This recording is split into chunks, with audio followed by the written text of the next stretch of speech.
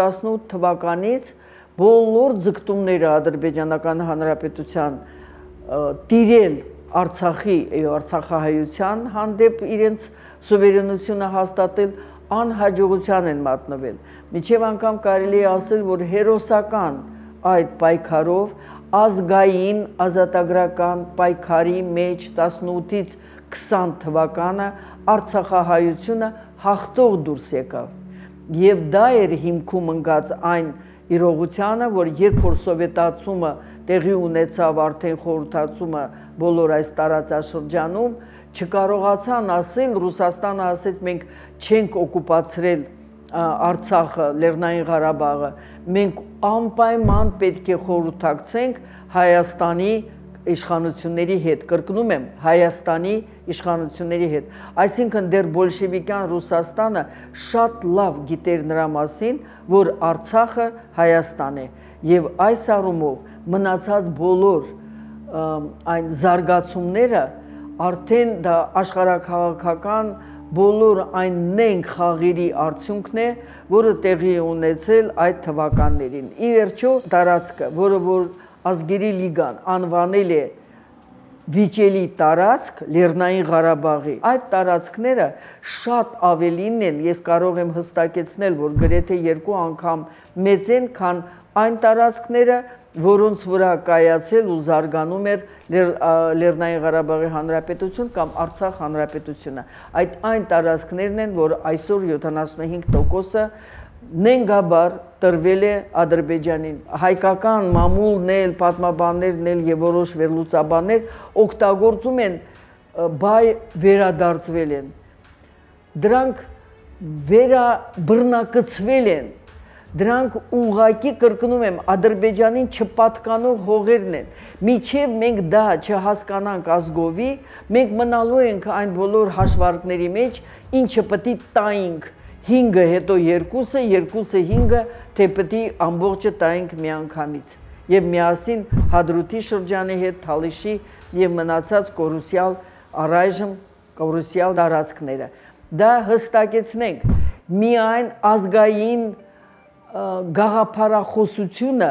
եւ այն իրավական իմացությունը յուր պատմության կարող է մեզ նորից բարձրացնել, մեր մեջ կուղղել, ինչպես ասում են, ու մենք կարողանանք իրար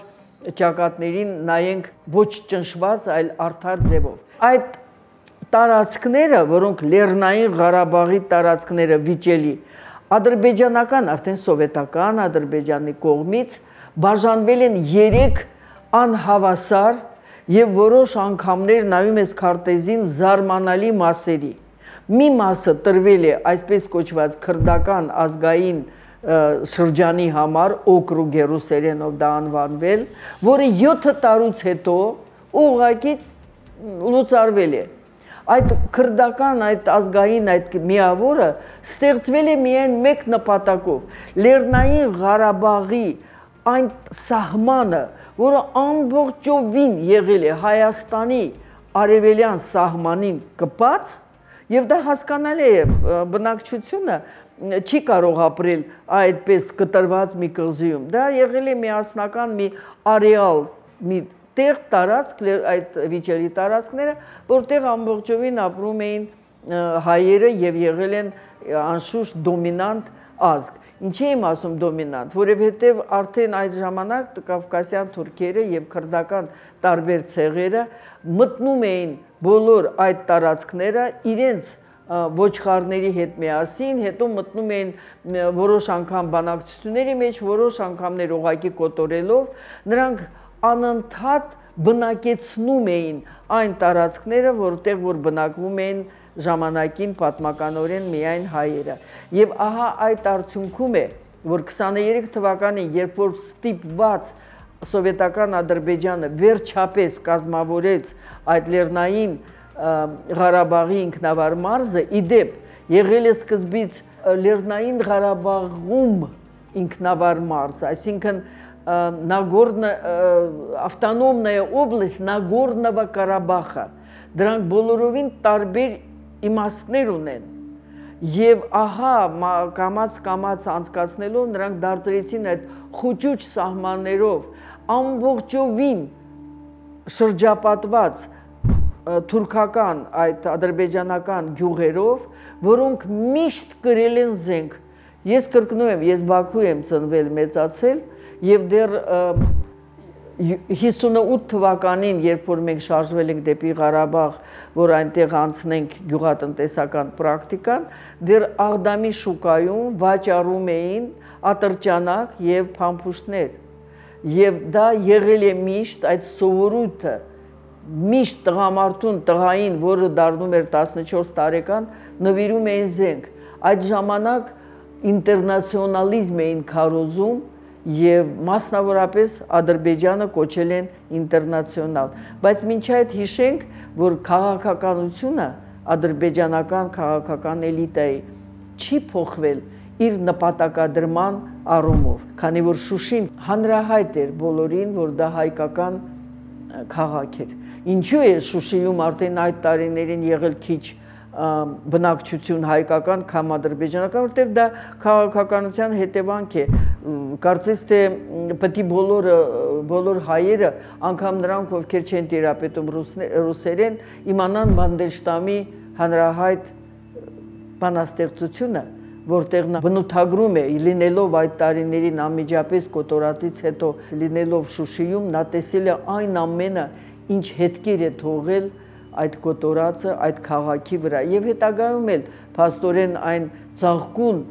մշակութային կենտրոն եղած քաղաքը այլևս չկարողացավ վերականգնել իր նախկին այդ парքը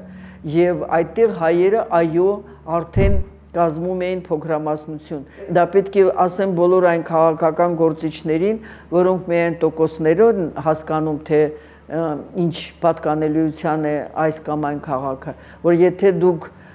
բնակչության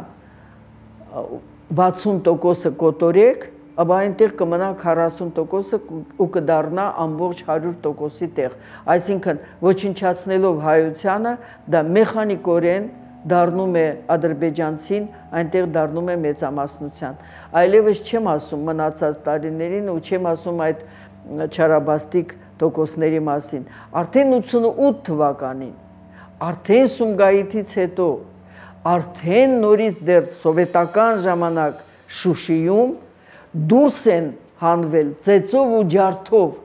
Ջարդ է եղել Շուշիում 1988 թվականի մայիսին։ Եվ խոսել այսօր այլ լեզվով եւ բերել տոկոսներ, ես կարծում եմ դա միայն անգրագետություն չէ։ Դա խորքային համոզմունքներ են, դա քաղաքականություն է, դա նպատակադրում է